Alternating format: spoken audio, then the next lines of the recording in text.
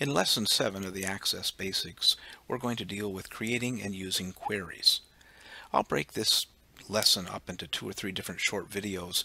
In this first video on creating and using queries, I'll show you how to create a query based on one table, and we'll talk about some text-based criteria. All right, for creating a basic query, we'll go back to our library database example that we've been using in all of these videos. To create a query, I like to use the design view for query. So I'm going to click on the create tab and then I'm going to go ahead and click on query design. And you'll see that we have the query grid here. Uh, we don't have any tables selected yet. And as I mentioned, we're going to create the first query based on just one table and we'll base it on our patrons table, which is the table that contains all the information, names and addresses of the patrons. So we'll go ahead and add the patrons table and I just double clicked it over here from the list of tables. Now I see a list of all of the fields in the patrons table. And the next step in creating a query is to determine what fields I want to see. That's one advantage of a query is that you don't have to see all the fields within the table. So maybe I'm just interested in just their first name and their last name, or maybe I'm interested in their first name, their last name, their address, their city, their state, their zip. Uh, maybe I want to create mailing labels. So we have that option when we're creating queries is to first select what fields we want to see. So I definitely am interested in their last name, and I'm going to bring in the last name first. Then I'm going to bring in the first name, and I'm doing that just by double clicking. Uh, so down here on the query grid, you'll see that now I have the last name, and then I have the first name. I also have the option of adding fields by going into the query grid column heading and just clicking the drop down list and choosing a field from here.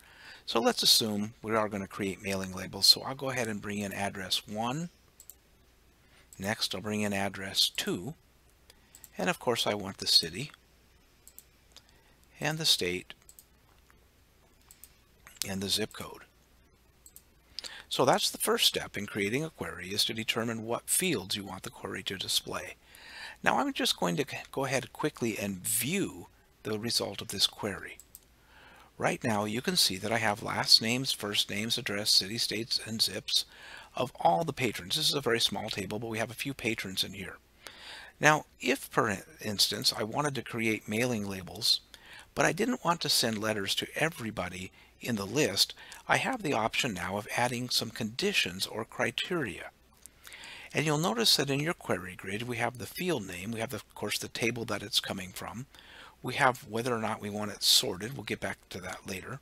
We have the option of turning the field display on or off, and that's useful when we have a field that we're using for a criteria, but we're not actually wanting to see it. But then finally, we have the criteria. So in this case, let's assume that I'm only interested in seeing the patrons in the state of Washington. Well, I go into the state column, I go into the criteria row, and then I type in a criteria that matches the value that's in this particular field. Now, if I were to type Washington here, and then view the query, I'm actually going to see nobody. And the reason for that is Washington is not what's in that field. My criteria must match the contents of the field directly. And when I entered the data into this field, I abbreviated the states. So now when I view the query, I see that I have only the query results of the patrons that are living in the state of Washington. If I changed my mind and I wanted to see the patrons in Idaho, I would just change the criteria, run the query again, review the query again, and there I see those people. So let's assume this is what I'm interested in now. I'm interested in a list of all the patrons that are within the state of Idaho. Well, if this is a query that I want to use again and again, which of course I will, I can save the query, and as I add or delete records to the table, the patrons table, each time I open up this query, it will show me the patrons within Idaho right then. So the beautiful thing about a query is it updates, or it's based on just the table that you have. So I'm going to go ahead and save this query.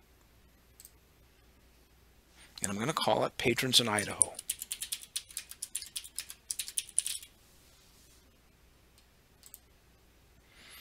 Okay, now I'm going to go ahead and create a different query. What I'm interested in this query is their card expiration date. So I'm going to add the card expire date to this query.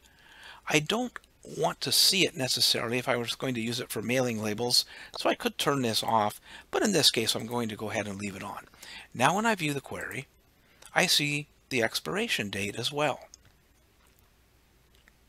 Now let's assume that I'm interested in anybody that might have an expired card. Well, I could put in, for instance, less than today's date that I'm doing this happens to be 1-4 of 2024.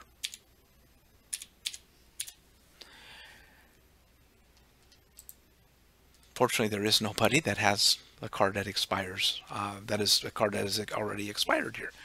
But the problem with this particular query is it's only good with today's date.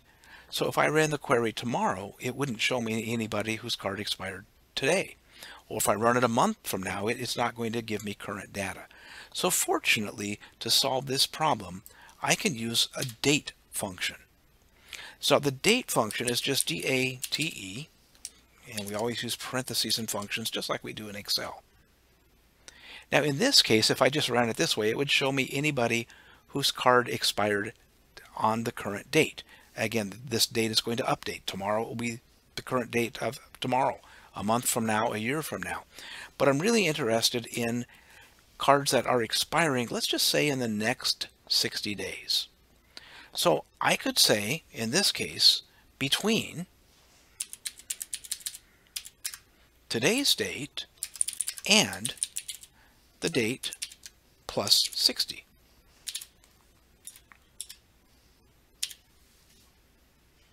The between is a very useful function, especially when you're using date ranges here. All right, so in this case, I want to see anybody whose card is going to expire within the next 60 days. I'll go ahead and run the query, and I only have one. But that would be useful information if I was actually running a library. Now, again, because I've used the date function here, this query will be useful not only today, but it'll be useful from now until I don't no longer use this database.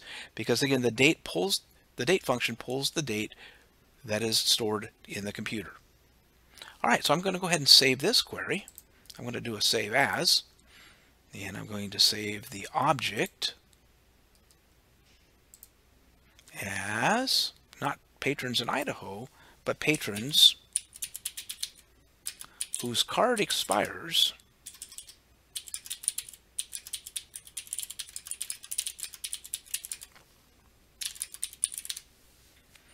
And again, as I design queries, I see the queries in the list of objects over here. I want to design them so that I can use them again and again. And that's especially useful with dates when you use the date function. All right, that's going to conclude the first part of our creating and using queries for lesson seven uh, that are based on my Access workbooks that you can purchase on Amazon.